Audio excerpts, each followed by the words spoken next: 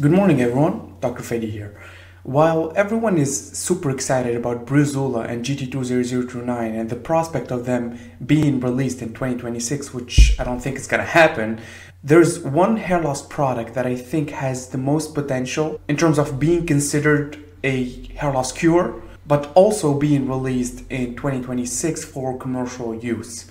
And of course, I'm talking about verteporfin, the only compound that we have currently that is capable of turning a Norwood 7 into a Norwood 1.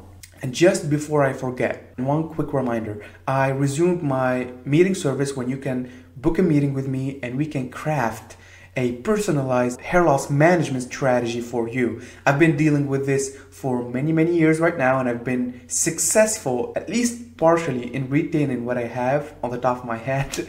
And I'm also a medical doctor, so I can help guide you through this process of androgenetic alopecia and guarantee if you follow this process for 99% of you guys that you will keep the majority of your hair to a sufficient amount until at least you're 70 years old.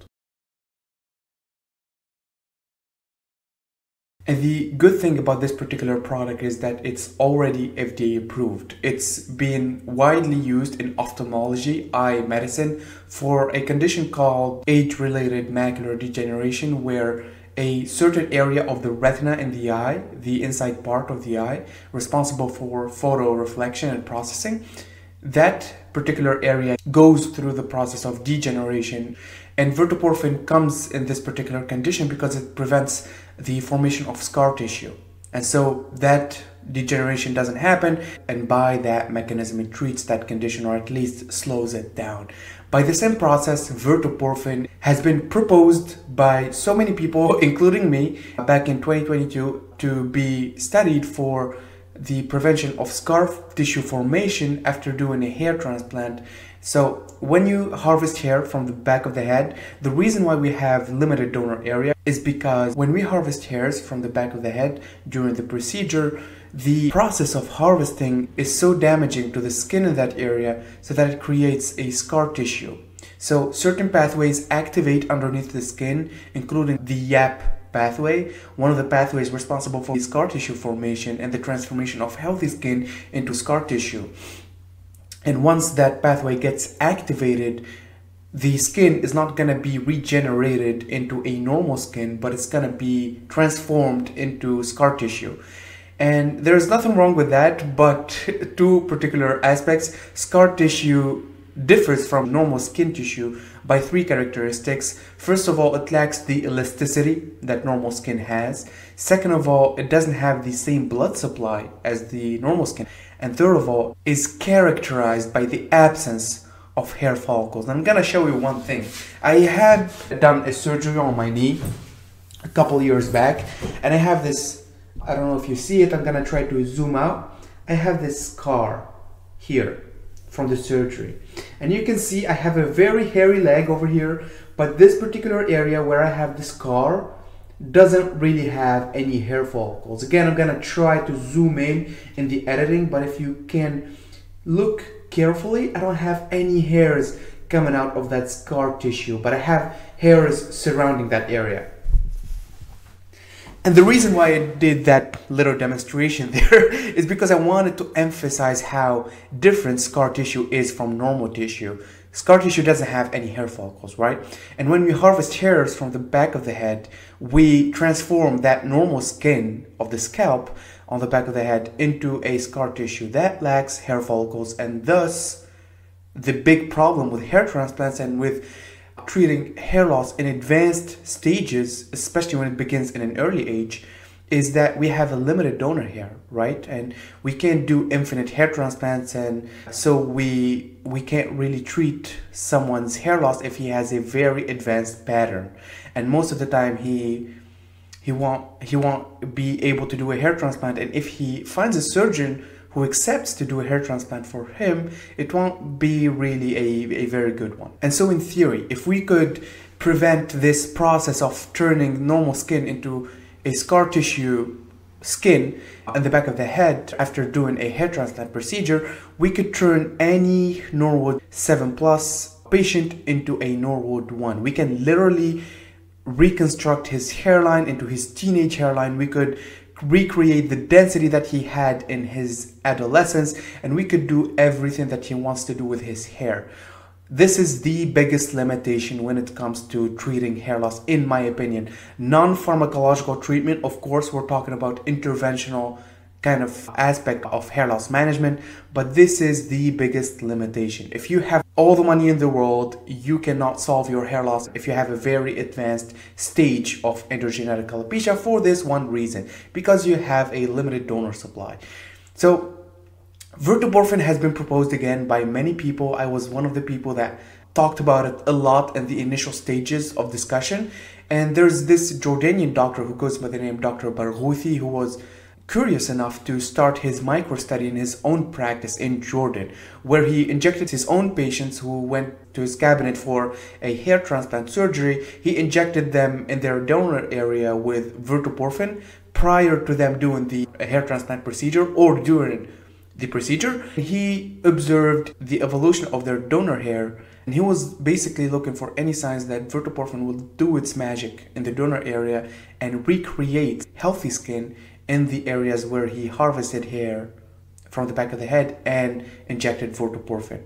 And he found some very good data. I'm going to show you some slides over here that prompted other hair transplant surgeons to do the same micro study in their own practice. One of those doctors is Dr. Bloxham, a hair transplant surgeon based in New York, where he did his own study. The results are mixed up from these micro studies that we have and the only problem with that is that we don't really have a large study. We don't have a large study for verteporfin assessing the prevention of scar tissue formation in hair transplants. Of course we do have plenty of data for the work and mechanism and efficacy of verteporfin when it comes to age-related macular degeneration in ophthalmology, but we don't have any for hair loss. And so that's one problem that's going on, and I hope that gets solved and prompts some organization to make a study evaluating the efficacy of verteporfin in this particular case for hair loss sufferers. But in the meantime, the good news is, again, this product is FDA approved already for this condition in ophthalmology, so you don't have any problem outsourcing the product if you want to try it yourself. And there are plenty of hair transplant surgeons currently, as we speak, that offer this service. When you do a hair transplant surgery, they offer you some injections of verteporfin in your donor area just in case it restores some of the donor supply you're gonna harvest and implant in the front of your head. And the bonus of good news regarding verteporfin is that it doesn't really have any side effects. So this is not a pharmacological treatment that you need to consistently take on a regular basis every day. This is a one-time thing that you do during your hair transplant procedure. And so it, it doesn't really have the potential of creating side effects like the sexual side effects that we see with 5-alpha reductase inhibitors like finasteride and dutasteride which I made a video about recently that you can watch over here. One other plus or quality if you'd say about verteporfin is that it's insanely cheap. One ampoule ampoule of verteporfin costs around $28. It's becoming harder and harder to source the product because there's much demand for it. But once the supply catches up, it's gonna be super cheap. It's not expensive to fabricate or manufacture. And so this is one plus. It won't cost you a ton of money if you're gonna inject yourself with verteporfin while you're doing your hair transplant procedure. And there are plenty of hair transplant surgeons that offer this service. And even the hair transplant surgeons who don't offer this service if you suggest it to them i don't really see why they would reject your offer. And so I recently watched a video of Hair Cafe Kevin where he talked about the treatments that they were gonna be released in 2026 due to his opinion. And I don't really agree with a lot of the compounds that he talked about, like Breezula. I don't think that Breezula is going to be released in 2026. We still don't have the results of the phase 3 clinical trials, the extended version, the phase 3 clinical trials. And even once we do, we still have to go, the comp- or at least the company still has to, to go through the FDA process, the FDA approval process for the new drug approval. And that takes a lot of time, at least one year to one year and a half. So I don't think we're going to have Breezula, which is the compound that's closest to being approved. I don't think we're gonna get it approved in 2026. So there's a lot of time to wait. And so verteporfin is the only product that's probably gonna be revolutionary in 2026 if we get more popularity. But a little disclosure, we still don't have the conclusive data to say for sure that verteporfin is 100% efficacious. From the pictures that we got from the micro studies of Dr. Bloxham and Dr. Barghouthi, we certainly see some efficacy, we certainly see some magic, but we can't really tell for sure until we have a large scale data, which to be honest, I don't think we're gonna get it because no organization is gonna be incentivized to do such research because there is no a financial incentive for any company to do that. This compound is already FDA approved, and so hair transplant surgeons can outsource it themselves and apply it during their hair transplant procedures. So there's really not a financial incentive for any company to create such a large scale research study.